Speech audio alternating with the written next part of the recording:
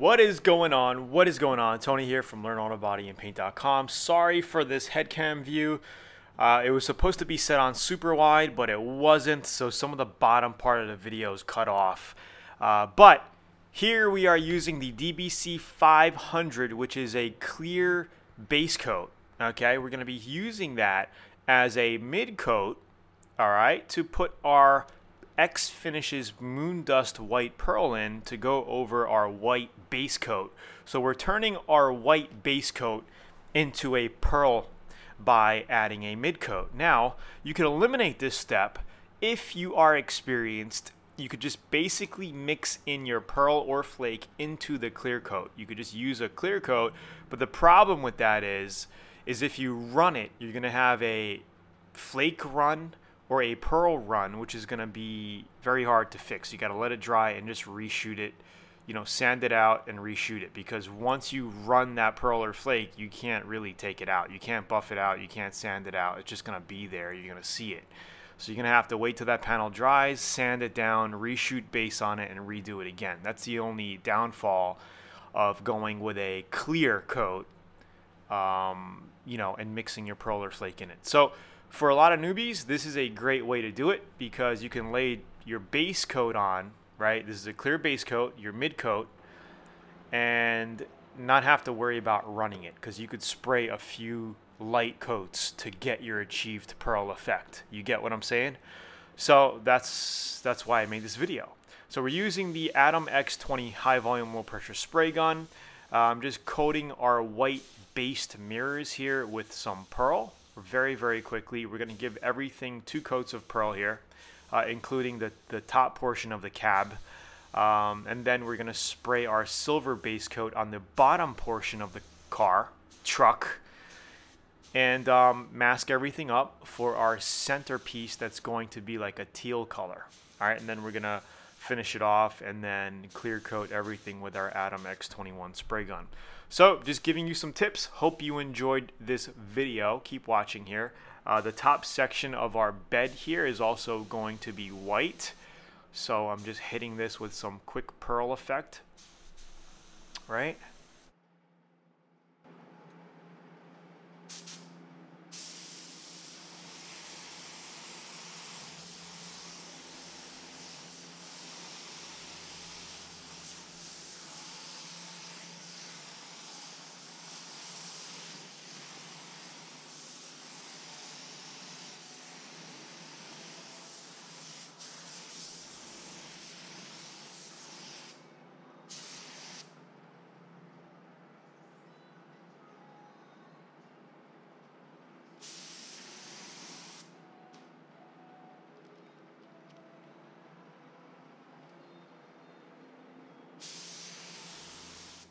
Like I said, this is our second pearl coat on the outside using the DBC 500 clear base coat with X Finishes Moondust Pearl in it.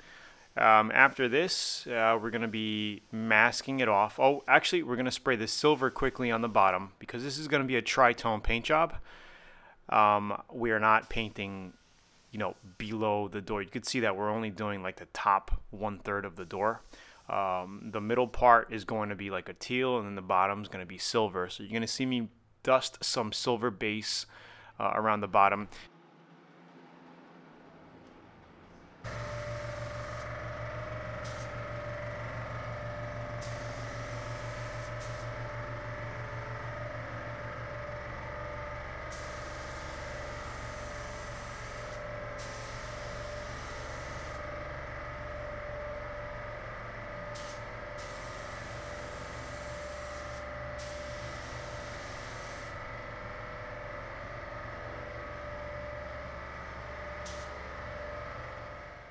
And another good tip is to always check your paint. You can see that I quickly checked my paint here. You don't want to be painting a full panel and run out right, you know, in the middle of doing a hood or something like that. You know, it's it's not going to hurt your paint job, but it would be better if you don't run out run out while you're spraying a large panel.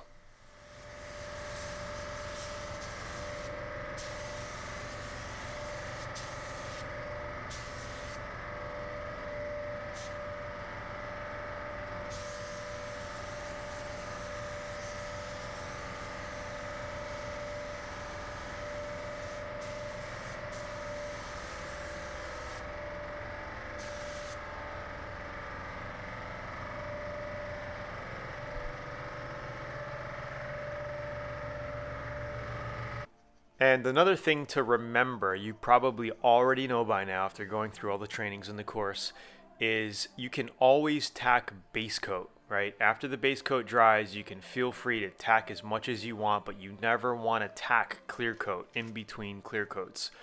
So because this is still a base coat stage, right? Um, I don't think I showed you on video, but I actually tacked the lower section of the truck before I sprayed this base coat.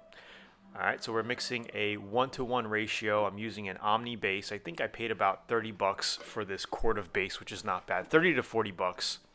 Omni's a good brand. You know, it's a cheaper brand of PPG. Great brand, great base coats.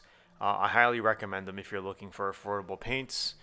Um, Nason is also good if you're if you want to work with the DuPont. Uh, Nason is a cheaper version of the of DuPont's. So we're mixing our base here. We're going to spray the lower third of the truck. Uh, and then we're going to wait for that to dry, then mask off for our center piece. All right.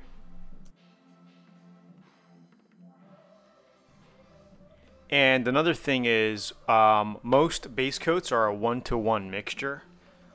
Uh, keep that in mind. Um, and I also go by consistency. So I like to count the drips and, and see the consistency of the paint while I'm mixing. So I had to add just a pinch of bitter reducer here uh, to get the consistency that I want. But if you don't know how to go by consistency and drops and just by looking at the paint like this, uh, normally it's one to one, and maybe you're gonna want to add five percent, you know, eight percent extra reducer during some times, especially if you want to stretch the base. You're running out. Um, and you want to just you just need a little extra base to spray with you could reduce it down 10% extra no problem now what I'm doing here is narrowing my fan down just a little, as you can see, a little bit more narrow, about a four to five inch fan pattern I want because uh, a lot of this, the pieces that I'm going to be painting on the truck here are smaller pieces.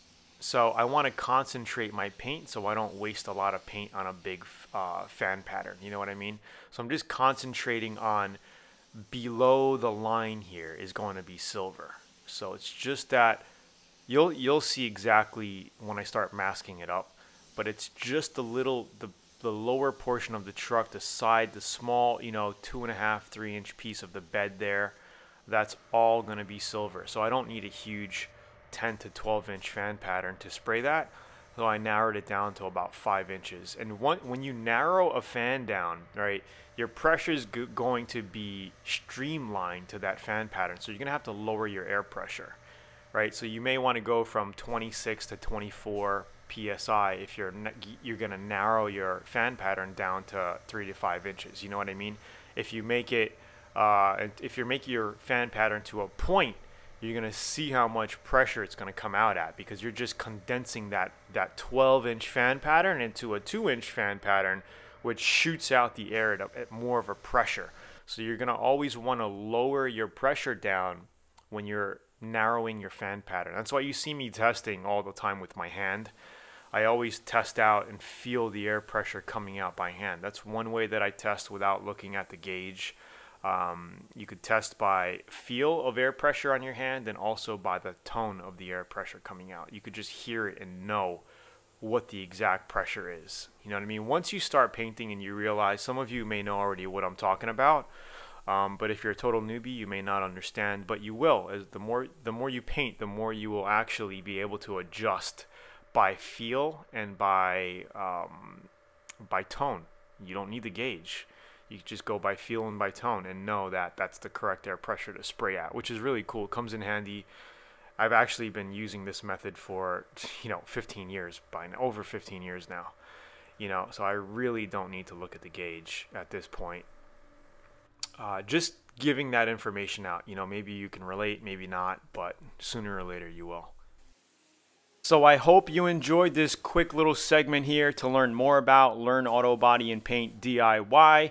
Uh, check out learnautobodyandpaint.com. Grab a free 85 page auto body manual, some video trainings.